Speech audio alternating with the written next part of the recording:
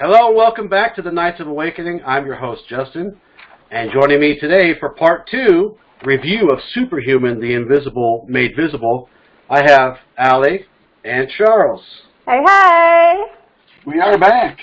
So this is part two of a, I don't know how many part, because that first part was probably already way too long, but we're going to do our best to get through this. We'll probably be three or four parts. I, I'm going to be like Allie during Acts. I'm going to say, it's two parts. And then the next recording, was, it's going to be like 10 parts. And then it turned out to be 15. No, it was only four parts. Four parts. Five. Four parts, yeah. All right, so just to kind of recap, we talked about remote viewing last time, and you really need to check that out because it kind of sets the tone of this whole rest of this thing for Allie. For me, this starts to get more interesting. This is where I have fun. Chapter 2, it's called A Physical Body with Non-Physical Abilities. So we start off, we meet Dr. Radin again, and he's in charge of the Institute of Noetic Sciences. Ions. Ions. Uh, he's their chief scientist. They're going to have this experiment, and they're going to. This experiment was weird for me. I didn't. I didn't. I really. I never could figure out what this is supposed to be telling us. I thought it was kind of lame, for lack of a better term. Before I get into the experiment, do you guys have any uh, comments up to up to where the experiment starts? Yeah, this one's actually really interesting, and I know a lot about this. Okay. Even Nathan so- said this is the only interesting one so far. okay. See, I, I'm on I'm on a different planet then, because to me it was like, oh, so you so different pictures make your eyeballs, your pupils move. Anyway, so I'm gonna lay out the experiment and then we'll talk about it. Okay. So the experiment is to try to measure the physical effects on intuitive abilities. So basically, they have a set of pictures, and these pictures are designed to elicit some kind of emotional or calming reaction out of a person, right? Some of them, like like a person on fire versus, uh, you know, a, a- picture of a beach on the Caribbean somewhere or something. Just kind of give you a, an idea.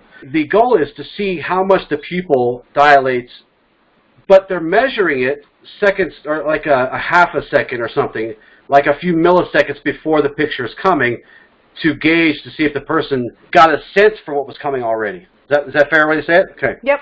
so they have this computer and it has this this I, I assume that little bar at the bottom was a camera that was focused in on the eyeballs to, to track the, the dilation. Hmm What I got out of this was they were attempting to see if there was physical proof of intuitive, intuitive abilities. Allie, what did you think about this experiment? Why was it so interesting for you? I found it interesting because they did it a different way than what I'm used to seeing. And it actually measures faster by doing it this particular way than it does in the original experiment, which, if I remember correctly, was you had a button. Okay, yeah. you were clicking. So it's supposed to measure what what the theory is is actually slightly different than what they're presenting it in here. And it was that you actually live a few seconds in the future. Like your Okay. consciousness your consciousness is actually in the future, and not so much you're measuring your intuition. Okay. It's slightly different. It's ever so slightly different. So not really enough to really make it. it it's negligible difference, in my opinion. Right, yeah. Expla- Explanation. hmm And they they would do this, and it would be a button, and you would have to anticipate, or you would anticipate before whether or not you were going to see something. What they're measuring with the eyes, and this is why I think it's better, is because with the button, you've taken the hearing test from the military, right? hmm So then you know how easy it is to have phantom Sure. action. So to me, that that has always, since I never really got a chance to peer review the material myself, that was always a question I mm-hmm. had: was what about the phantom? Did you account for the phantom possibilities with the buttons? Right. But in this, because they're actually measuring the eyes doing mm-hmm. it, then it's not something that you can easily phantom. That's a really good point. You can't BS it at all. Your eyes are going to react. It's like it's like when you do the the test for people who are impaired by drugs or alcohol. They can't control their eyeballs, their pupils. Right. Right. So Now, that's that's a good only- point. Yeah. The only exception to this question is, are we sure that it was randomized and not in a pattern? That's the question I have to ask. Right. And because I wasn't there, again, I wasn't there to review what they were doing, and they weren't really in the room either to see what was going on. They're just taking it on faith that this is going on, that this is happening. Mm-hmm. It's a very good experiment. I'd like to see it more replicated with this specifically using the eyes mm-hmm. and to actually have the papers to peer review myself. But this one, this one was on point. Yeah. I really liked this one. That's a really good point. The eyes don't lie. I didn't think of it that way. That's thank you for that. Well, I'll tell you, as I was watching it, that was the first thing that I thought about was is the timer random? And are they measuring if there's a difference in the response or if there's a response? Because the thing is, if your eyes are acclimated to a timer interval of a shift in light, I'll say the iris, I probably got my terminology wrong, is going to dilate in an effort to pull in that light at that moment, or it's going to try to close itself to protect itself from the shift in colors. So even if you randomized the pictures, did you randomize the timer? And are we only looking to see if we're getting a response for the shocking ones, or are we comparing the response differences? None yeah, because we never get a we never get a baseline for what his pupils look like for calm versus whatever. right. Yeah. Nor nor do we get this tested against multiple people, Right. just in case this person's already went through this and it is patterned one. Not to mention that he is already a believer. Right. Right. I mean, you're kind of led to believe he already believes he's Caroline's friend.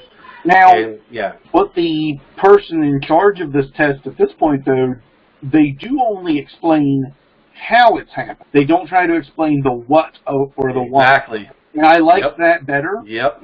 That made the test a little bit better for me by explaining just, well, this is what we're measuring, and this is Yeah. what we. And they even they didn't even say And this the test anything. subject, yeah, the test subject actually uses some buzzwords to Mhm. explain it. And and the, and Dr. Uh, Radin, I think his name is right, Dr. Radin. Yeah, he says, hey, I don't know what it is. We're just going to say some subconscious process. He just Yeah. says that it's statistically improbable to get this result. Right. Yeah. Which is- so which is my what- word last time was disingenuous, Yeah. but Yeah. with this one, I would say it was it was legit. If you've never looked Yeah. into the Institute of Noetic Sciences, it's a very, very interesting place. They do some really good work from, from what I've seen or heard from them before. So I was actually happily happy that they were included in this, to be honest with you. I thought the experiment was boring, but I'm not a science guy, man. I, I like science because it helps me stay in that healthy lane where I, I can believe these things that I can't understand, but I can also, you know, question things too. Pointed out to me, Allie, that uh, uh, why we would use the eyes for that. That's a really good example. I, I forgot about the clicky test. I do. I, I am familiar with that, and I forgot about that. I like Dr. Radin so far. He seems to be genuinely trying to be a scientist, and he's trying to, to help us figure out why these things happen, not You what know- they are. One other thing also, without knowing how they program their software for measuring the time between the image shift and the eyes, light travels a different distance from that from the camera reading the eyes as it would from the screen and a couple other different things.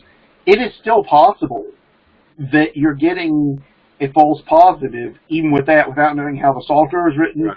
without knowing more about the type of camera that was used. And we I don't know how many people he's done this on. I mean, he could have done this on thousands of people.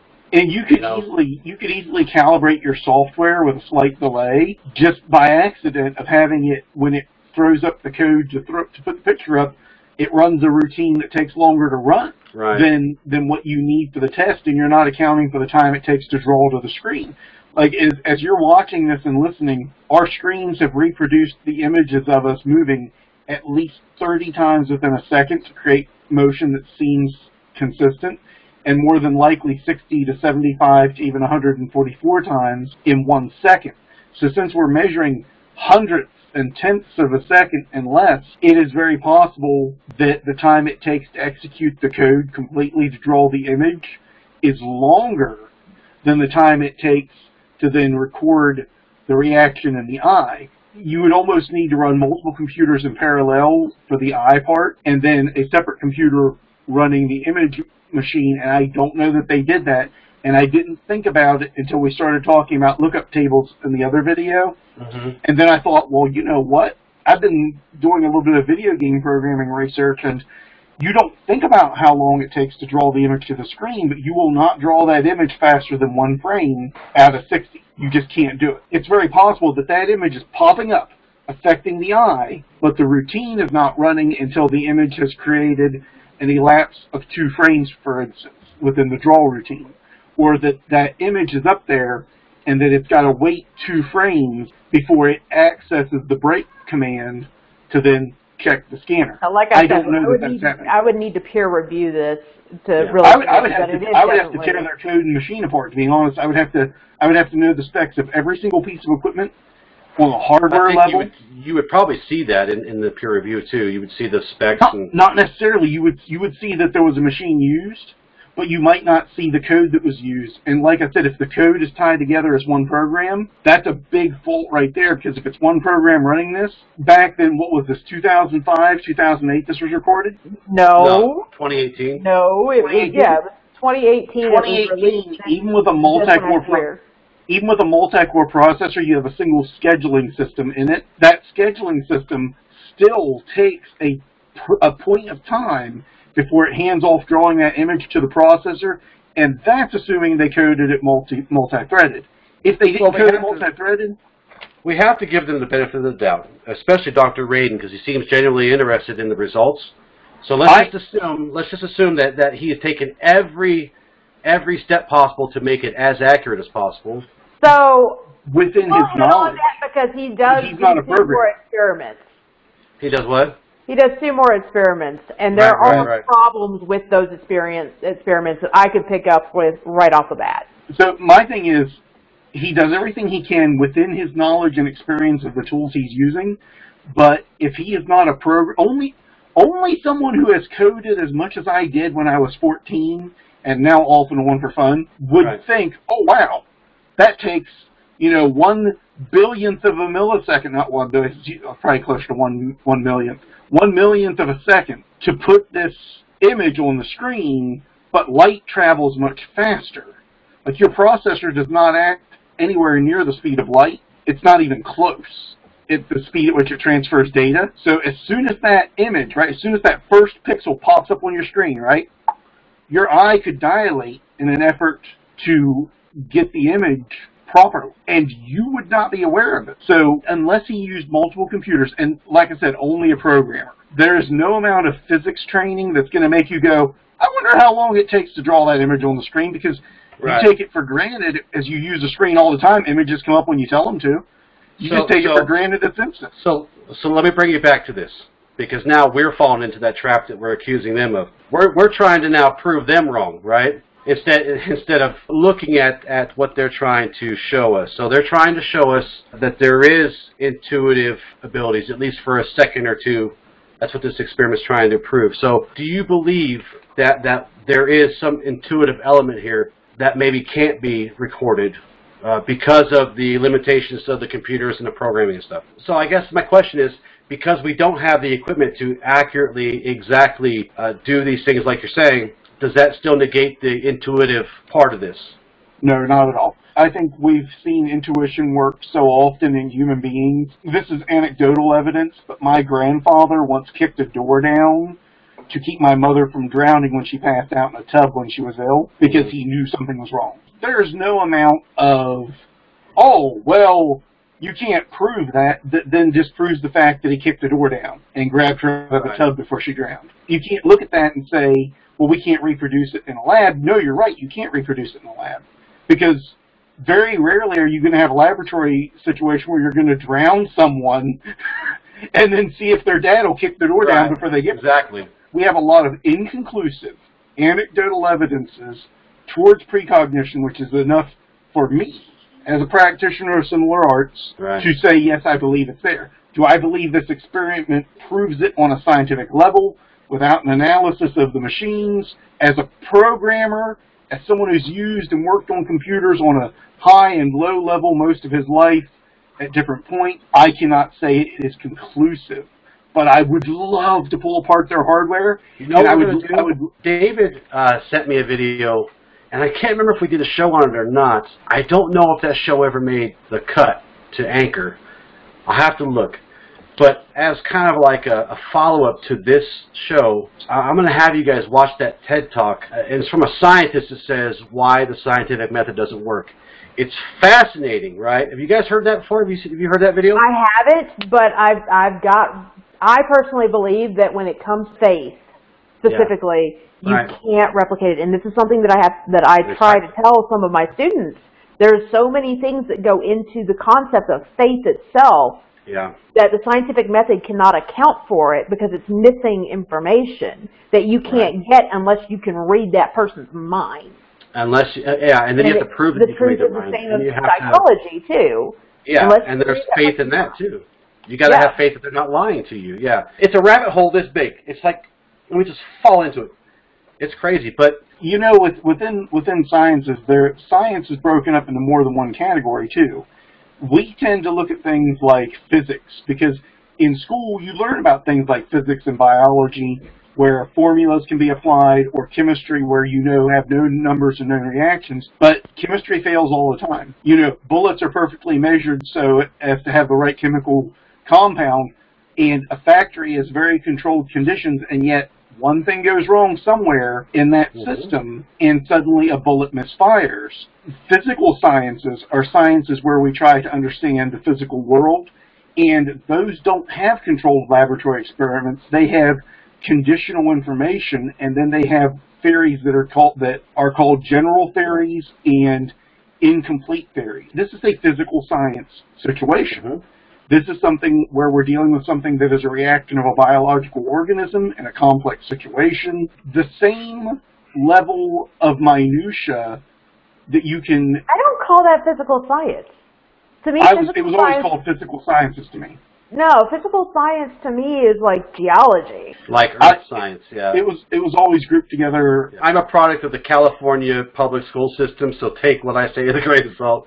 We, we, I, call I come, earth sciences. I I come I come from from up north in Maryland, where the terminology changed every three years. So I've got a lot of terms to use, but not not one of them is probably perfect. But my point is, these sciences are day-to-day sciences. They're sciences that are applied at that moment. So I, I wouldn't demand necessarily the level of controls for this experiment that I would say for a chemical reaction in a laboratory with completely sterile Which equipment. is chemistry, like a vaccine not physical science, like, by the way. Right. like a medication or a vaccine or something. You would, you right. would want yeah. to really be, yeah. But at the same time, if I was not a programmer, okay, I kid you, I don't even have this in my notes. It hit me while we were talking. If I was not a programmer, I would never think about the processor delay between telling the video card to put the image on the screen and measuring input coming from it, it, an external device.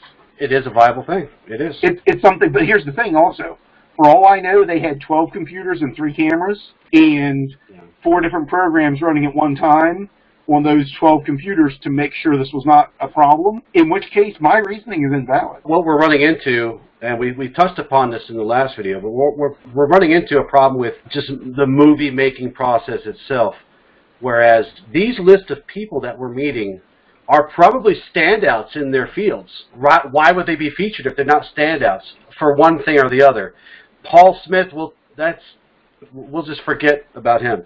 But these other guys, they, they have a lot of impressive work. They, you know what though? I mean, I agree with you. A lot of these guys have impressive work. However, at one point in time, Nathan, Nathan sees, you know, they're they're interviewing these random people. Nathan. Oh yeah, the random, the randos, yeah.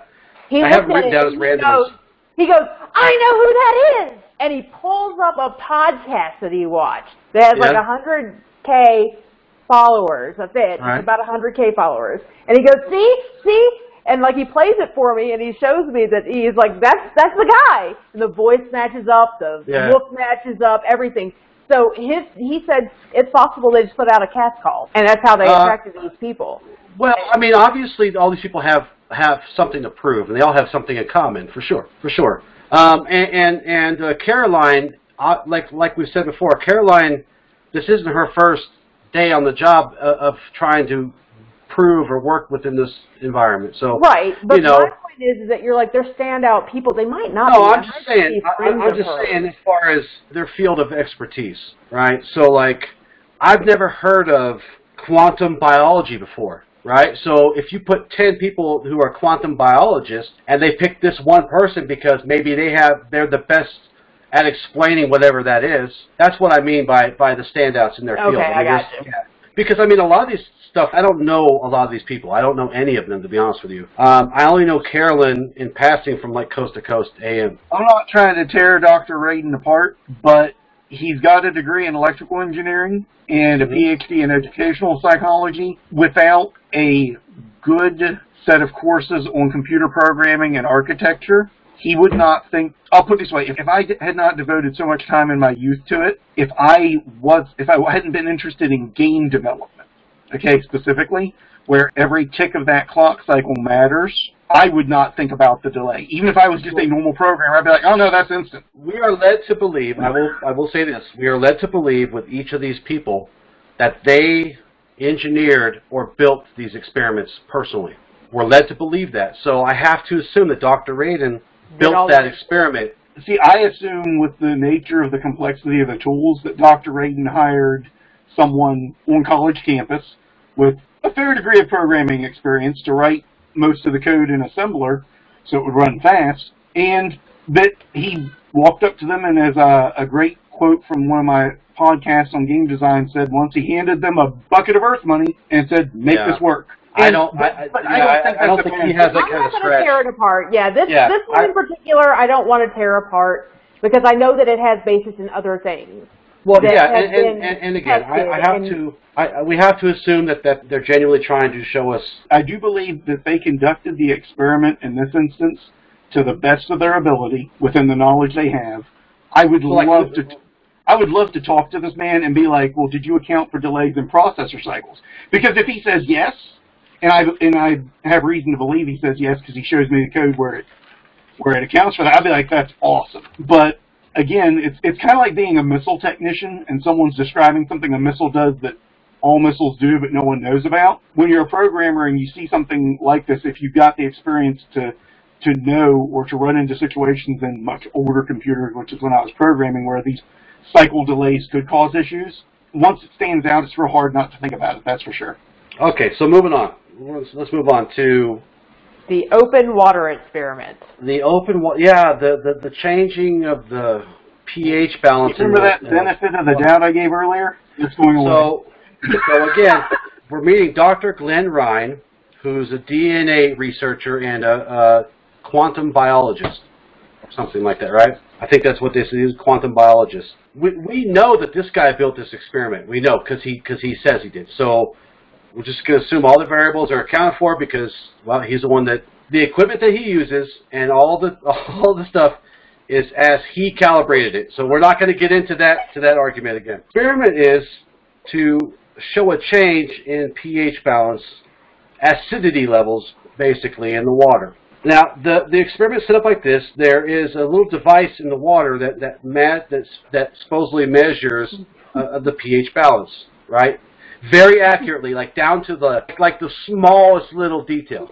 The goal in this experiment, the first experiment, because there's two experiments here. The goal of the first experiment is to use intention, thoughts, to change the pH balance in the water. They show the water there, and they show a little device in it, and uh, Caroline is the person that's going to change the pH balance in the water. And I think about 10 minutes goes by, right, from start to finish. She, she takes about 10 minutes, and she gives the attention that she No, wants to was five Five. exact minutes. They timed Okay, it. okay.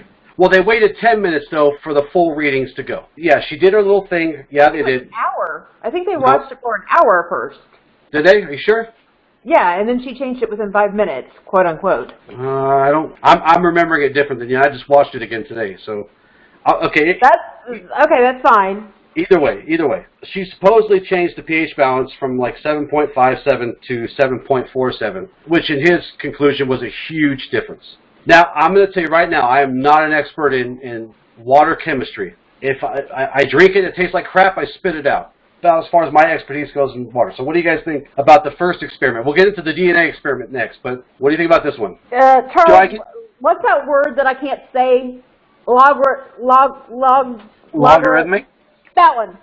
Yeah, yeah. Go ahead and tell them. Okay, the first thing I did was I go, well, pH in water changes all the time. It drops because pH is, is a measure of, of a kind of a chemical electrical state where you're measuring chemicals that are breaking down. So the first thing I did was I looked up pH changes in water over time. And I found out that when they do a reading on stormwater, when they have to read for stormwater, there's an article, and I can link you to the article if you'd like, but you're not going to have time to read in the middle of a show. It titled, Does the pH of a stormwater sample change over time? Why 15 minutes are crucial. So if Mhm. 15 minutes are crucial to getting an accurate reading, then 5 minutes are significant. for a reading to change. Which means that from the time they read the baseline, right, hmm if that pH is decreasing any amount over a five minute period, that shows that you don't have a control because you don't have another sample of water there that's being measured without effect. Right, right, right, right. So Yeah. At that moment, my head exploded, okay? Mhm. Nathan was sitting there. He felt this shake rattle the windows as my head exploded. Because to put this very simply, what the water did is exactly what we expected the water to do, It's supposed to do that, yeah. and she's taking credit for it. So I guess she Right. thinks she's God. And I'm I was starting to get that impression, but I made a note. What I would like to have seen instead was her raise the pH. If she could raise the pH of that water, As excited as you were, I was expecting it to have gone down to like two or something. You know what I mean? Like a lot. Like like you've almost turned this into wine at this point, right? well, well it, it does. It does. okay, I am looking at it. It says I measured the pH over the course of an hour. Okay, there you go. Yeah. So I was right, an hour. And then in five minutes she dropped it. But here's the thing. A speck of dust can change this pH. So he measured it And in a closed an open container. water experiment. This is a small vial, people. If I could take a screenshot, I might actually be able to take a photo of it. So the transfer into the vial could cause it. The reactivity of the vial's chemical makeup could cause it. And the the fact that it's being poured through the air, which is aerating it, would almost certainly cause a pH shift. So what he needed to do in order to make this actually a, a closed system, which would make me actually believe what was going on, but he didn't do it. I said open water experiment for a reason. If he mm-hmm. had closed the vial in such a way that nothing could get into it, I would have taken this as okay, yeah. Because he measured it over the course of an hour, and it did it did drop a little. I Right. think is what he said. It dropped slightly. Yeah. But he also didn't have a whole lot of interaction. You have someone coming in there and moving around it, breathing. All kinds of things are now being introduced to this that were not introduced before because he didn't have it closed. that part didn't bother me as much as the grand conclusion that they made from this was that because she was able to drop it by like one hundredth of a whatever that automatically means that we can we can raise and lower the pH levels of our body at will just like that that was like the grand conclusion they came to right Right. Uh, and, and that's very much that it, it, it's a little dangerous. If you go online, you can see people that blame poor pH levels on cancer and things like that, right?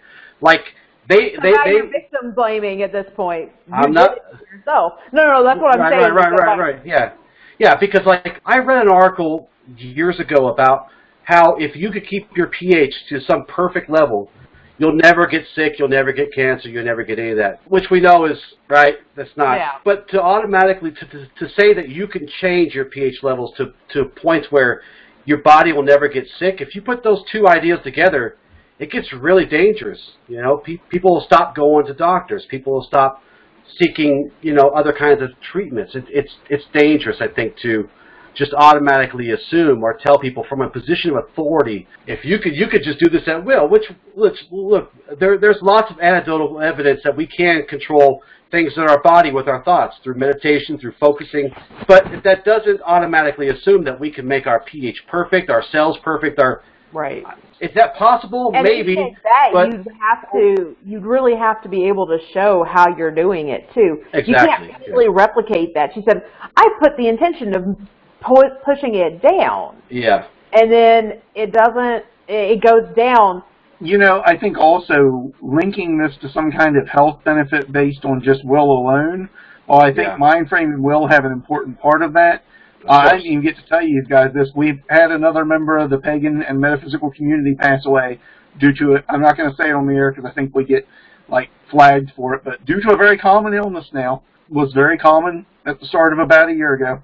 So I've seen two people that were practitioners that I would have loved to sit down and have a cup of tea with and have a talk about health benefits of energy work who are no longer with us. I wouldn't vouch for them as being the best in their fields because I didn't know them that well, but I vouch for them for being good enough that they're. You were willing to talk with them. I would have been willing to have a cup of tea with them, and I, I don't. I'm not willing to have a cup of tea with everyone. Well, you have a cup of tea with us. Well, yes, I'm, I'm having a massive thing of water with you. I think I've changed the pH in it either so far. So the, the next experiment follows this same kind of ideas. We're going to measure the conductivity of DNA. I can right? feel it happening. I'm going to become the Credible Hulk. So, so this one. You one, hear Nathan complain on this one. this, this one at least attempted to, in on its face, be more scientifically viable. They had, you know, three different measurements with three different random controls, and they had it sealed off, and it was right. So, so she did the wiggly woos, right? She did the Danielson, right? She didn't really do that. She just kind of put her hands around the, the cylinder, and about ten seconds later, she she says that she felt like something happened. So then they went right to reading the measurements, right? They said, okay, so they ran, they measured three times after she affected it. The first one was 6.5, the second one was 6.37, and the last one was 6.2. So they said that she had affected the conductivity by almost double because the, low, the, the lower the number, the more conductive something is, right? So she, in effect, affected it by double. She made it. She made the DNA twice as conductive. So okay, so go ahead. That was what they. That was what they concluded. So, this is what we went with. You're zeroing a target. I know you're not going to understand this one, Charles, but he should. You'd be surprised. Okay. Okay. Okay. You're Right. zeroing on a target, Right. and you get your shots. They're all mm-hmm. in a line. Well, they're all in a line, kind of like this, Right. across across from shoulder to the, towards the other shoulder, but kind of diagonal. Okay. Can you qualify on that? Yeah. No. Wait. Well. w- You're zeroing. You're zeroing. Okay. Okay. No. No. You need a shot group like that. Yeah. You need a shot group Yeah. within a within a quarter. With within a little triangle. Yeah. And it's usually. Doop, doop, doop. Yeah. Right. So here's the problem with this experiment. The control was so off. These three points that they plotted, where it came Yeah. out with this even, it was so so off. It was not in that quarter, so it was already faulty from the get go. So we're looking at this.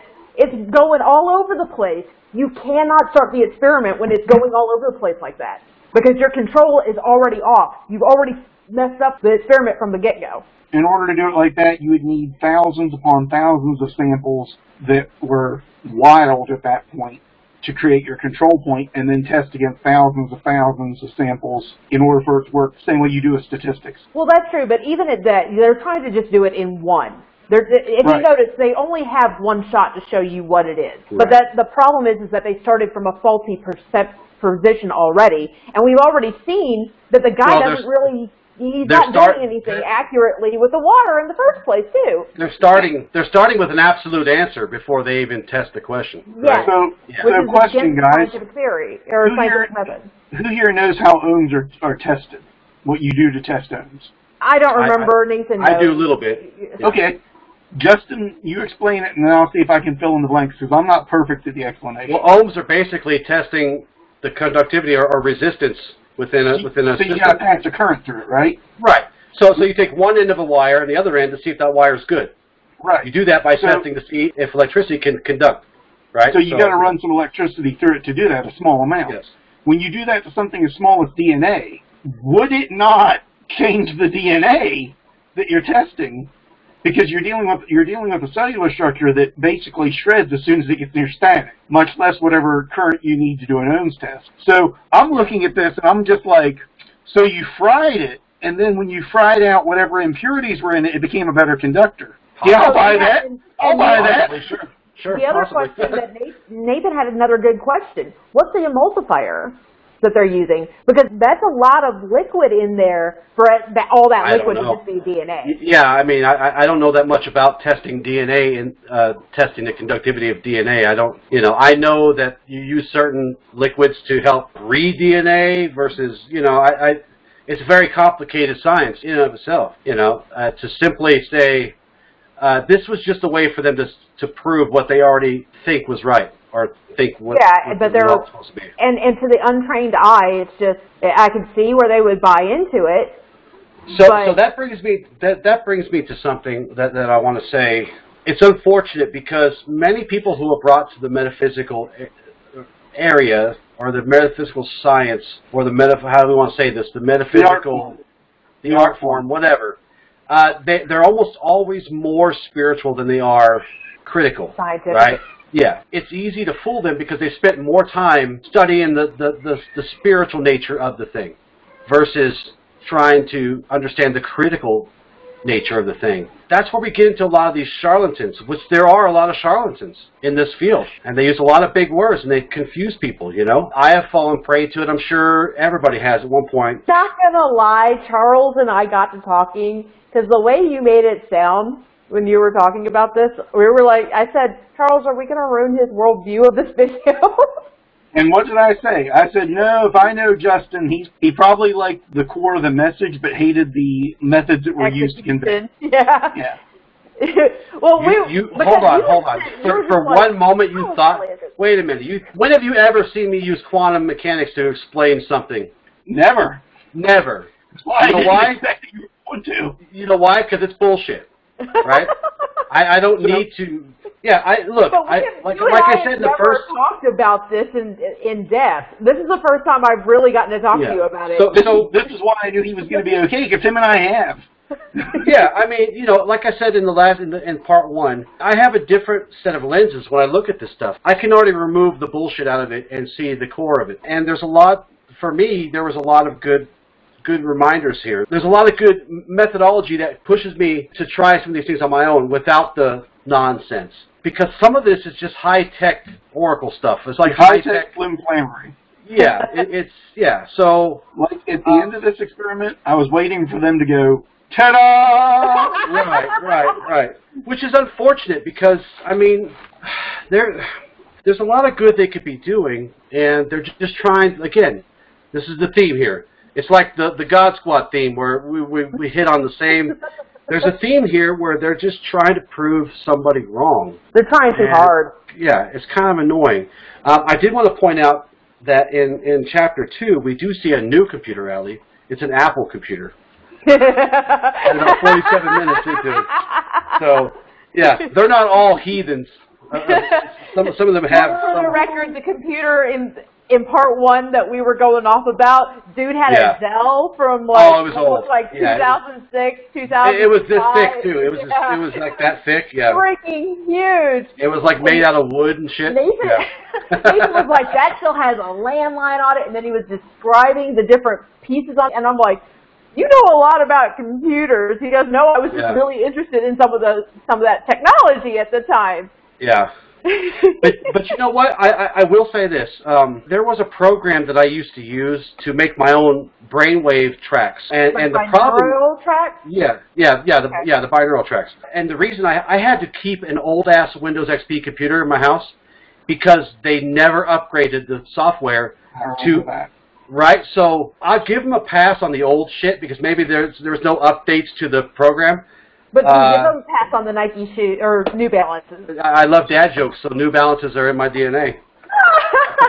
yeah, no, that All was right, the other so- thing. Nathan was talking about how he had all this really nice. App. He was like, he really is very much about what his his what his reputation is, and then he sees the the shoes, the New Balances, and he's like, this guy, what's here? Look, uh, you know what? I have met a few professors in my day who were very. A lot of them are very eccentric, and That's they what have he these.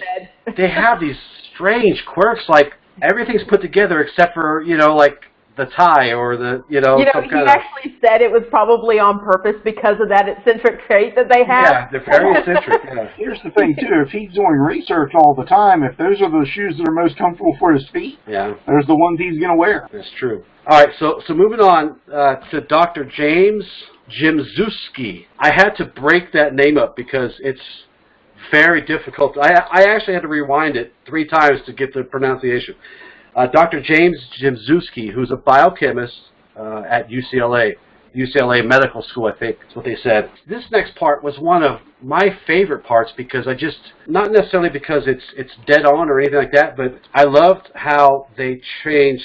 Uh, they took vibrations and stuff and made sound out of it. It was very cool. Oh yeah, that actually Yeah. has some really like when we were watching it, it had some really good uh what is the word? Mm, potential for like Yes. theater. Yes. Like in right. my head, I don't. Uh, what is the name of that? There's an anime. Actually, there's several animes, Charles, where they have where they have like uh, holographic imaging and whatnot, and they incorporate it into their theaters. And that's kind of what I saw in my head. Star Trek. No, Yeah, holodeck? not holodecks. An anime. Star Trek's not an anime. It's like Metropolis or something like that. I think maybe it's an older anime, like '90s. Don't ask me. I know nothing about anime. She's anime. speaking language. She's speaking languages I don't understand. to, then you are to me, not Voltron. what to me, Voltron's an anime. The only anime I've ever watched. Yeah. That's it. I can't remember the name of it, but um, but no, I, I saw that in my head was that that kind of futuristic concept, and I thought that is a Robotech. really cool introduction. Robotech. Robotech, where they turn the the music into holograms. Yes, Yep. yes. Yep. And I just thought that was a really cool concept. That was what I It thought is. in my head.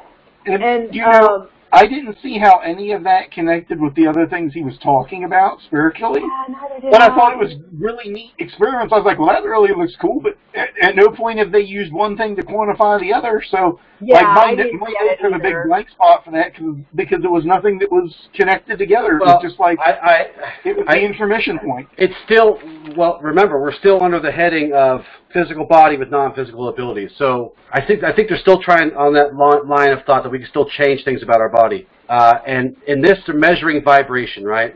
Vibration is a is a big buzzword in the New Agey community. Um, it's used to explain every. So before quantum, vibration was used to explain everything is in the true. universe. They don't come right out and say why they're testing this and how it can how it connects. That's just my assumption. Is that uh, it is it is a belief that we can change the, vi- our vibrational Well, patterns. if I recall correctly, they were using the brain scanner with this, weren't they? They were, and Uh, that's kind of my point is that they were using that- the brain scanner. That's that's great. That proves that you can read electrical impulses. nope, that's Well- a different one. Th- Nope, you guys are talking about the dream, the, the visualization of the dream thing. That's later. That's oh, later with that. yep. Okay. Yeah, Yep. yeah. This was the one with the with the two pictures The side by side. Oh, okay. Yes. So this one, so so, so here's the here's the experiment. Uh, they're measuring the vibrations of cells, right? Uh, which is record and which which they're recording as sound. And this wasn't one really wasn't an experiment. I should I should say that they didn't really show us the experiment. They showed us the results of things they've done. So they measure the vibrations of cells. First, they talk about they, they show us healthy cells, which makes this beautiful sound. It's a very harmonious and it's you know it, it- it's very pleasing to hear. Then they show you and you get to hear uh, what a disease cell sounds like, and it sounds like shit. It's just all Yeah. If you guys get to this, if you guys get to this point, just don't pay attention to the pictures. Just listen to the sounds Yeah. because the pictures to are actually stupid and they're not Yeah. actually they're not actually the cells. Like I noticed Right. that, and I'm like, really? right. So they like put some pictures in there, and the editor didn't know what he was doing on that. So just pay attention to the noise. Right, and of course, dead cells sound just like white noise. It just sounds like that that Yeah. type sound, right? So uh, along this la- same line, there isn't much talk about with that because they don't really do an experiment. They just kind of show us what they've done. And we meet a guy named Randy Masters, who is a harmonic, a harmonic mathematician. I don't. That's. I think that's made up for the movie. I don't. I don't know what a harmon. I know what a mathematician is, but I don't know what a harmonic there, there, are, there are people that study the math behind sound, and it's possible that like he's someone who went to college specifically to, for instance, take apart things like sonnets and great works of of, of audio history like Beethoven and Bach, and then find what what mathematically makes them work so that Right. it's appealing to the ear. And again, video game programming got me into this. I kid you not. I I I was really into it when I was younger, and one of the things I wanted to do was understand how you could procedurally generate sound that would be pleasing. And there is a field of science that gets into understanding the math behind what we find pleasing, exciting, terrifying, Right. and all of this. And you can actually, with that math, throw that into a procedural generation and make beautiful sonnets. You can make terrifying instrumentals. The only thing you can't do is affect it with vocals very well, and the only reason for that was because the software at the time when this was a bigger field of science that was more that people were more interested in didn't exist in a way that you could get a computer to sing. Today, you could probably even convince it to sing in a language with a So, okay, good enough yeah. This experiment, now that I've, I'm actually in my headspace, I see this one. You're right, we did jump ahead. We jumped way ahead. Like, Mhm. two things, two, two sets ahead. Yeah. But this one was where it was just like how we read tone with each other when we talk to each other. He was Mhm. teaching the computer to read that tone and produce what's really going on with that person. I So it would just be like our intuition. Only this Yeah. came up as like kind of a almost like a white noise looking color spread. And my first when I saw it, I looked at Nathan and I said, "Is that like an ink blot?" Because that's what I thought. I I mean I know it wasn't because I saw how it was actually producing these vibrations. Right. But when it went to, so then it has the two pictures side by side, and they have, it almost looked like the vibrations in the picture that was supposed to be like the one that told that she was, she was happier or whatever. Nope, that's you're, you're skipping ahead still. That's the very next one. That's the one where they used where she was speaking into a microphone. Then where are we? This is the one I thought we were at. With uh, we're right So- before that.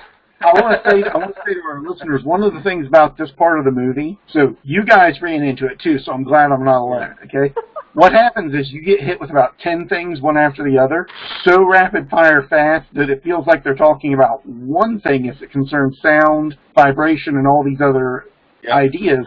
And it's meant to draw you to this conclusion that since the universe is vibrating at a frequency Right. you can influence it and pick up on it, but they don't exactly spell it out at the start or at the end. Right. So what you get is this. And what happened to me was I stopped being able to actually mentally hold I- information. yeah, I think they I think they messed up in the editing because chapter three, all of chapter three is about sound and vibration. Yeah. But at the end of chapter two, they throw that in there. I think they, I think they missed it because they do. They go. They go. There's there, there's the uh, vibration of cells turned into sound. Then there's the lady you're talking about who's speaking uh, things into the microphone, and they're making a picture out of it. They called it the porticle. The porticle. Remember the porticle? yeah. And then right after that, they go into the person with the with the brainwave thing. Yeah. Where she's Yeah. make- yeah. So Well, They- between, okay, actually I have notes here. Between that, they actually talk about the double slit theory because I wanted to hit on that one. yes, they do. So yeah, Yes, yeah. I, I have a note on that too. Okay, so So- let's end this. Let's end this video with with your guys' thoughts on on that observable universe theory. Okay, so chapter two, minus the vibrations that we got messed up, I would say good beginning, strong beginning, the bulk of it poorly done, poorly illustrated, poorly done. Guy didn't really know what he was doing. For me, very simply put, there's there's so much going on within these experiments where we're not being given the knowledge of it, and we're just asked to take it on faith that the experiment is being done as an experiment instead of reading data in a way that benefits their opinions. I just flipped a coin. You heard my coin flip, right? Heads or tails, guys? Hey. Tails. well, one of us It, was right. it wasn't a coin; it was a ring. and that's kind of my point. That's what these experiments started to feel like. And for my purposes, the one experiment I really want information on still remains to be the eye dilation one. It, it, it would warm my heart if they accounted for everything that's involved in that. It Yeah. would warm my heart. But for the rest of it, I've seen so little done in controls and controlling the environment of the experiment, and I'm a terrible chemist, okay? I am guaranteed to blow you up if I try to mix any chemicals for any reason. I've done it before, and I will do it again, okay? My parents banned me from a chemistry set for a reason and put me into computers because it's much harder to blow things up with a computer. And I'm going to tell you this, a lot of things that I would know to do, they did not do in terms of things to keep controls for a lot of these. And that worries me so much. So my final word on it, I believe that this section would have been better suited with a man in a tuxedo, two lovely assistants, a small small black wand, and after each experiment each experiment, yelling, Ta-da! Poof! But that's just me. All right, thank you so much for joining us. Make sure to check out part three, which will come out next week, and a part four probably, and a little bonus. I don't know if we'll call it part five, but it'll be a little bonus why the scientific method doesn't work. Thank you so much for joining us. Check out all our stuff. In the meantime, all these other shows are hitting. Allie's still throwing out. What are you working on again? It's called uh, Jedi Journal, Jedi Journal. And Wandering Sinai. thank you so much for joining us. And until next time, awaken the night within.